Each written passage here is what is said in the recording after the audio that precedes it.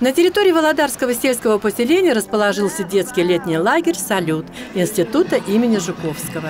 Комиссия в составе представителей администрации Ленинского района, Управления образования, Управления внутренних дел посетила этот оздоровительный комплекс для плановой проверки на предмет состояния антитеррористической защищенности. На территории лагеря расположены спальные корпуса, столовая, другие здания для проведения досуга ребят.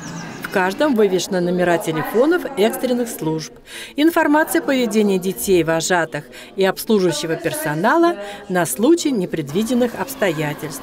На стенах вывешены планы эвакуации.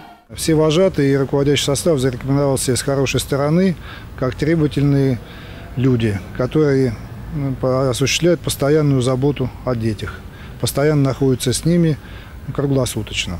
Площадь лагеря около 7 гектаров. Целях безопасности территории его имеет дополнительное ограждение. Кроме того, веб-камеры в круглосуточном режиме фиксируют все происходящее. Даны рекомендации по увеличению количества видеокамер со сроком хранения информации более 30 суток.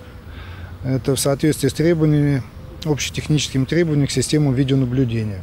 Помимо всего прочего, руководству лагеря были даны рекомендации по размещению наглядной агитации и памяток действий в различных чрезвычайных ситуациях. Людмила Медведева, Евгений Петров, Анастасия Нурхонова, Видное ТВ.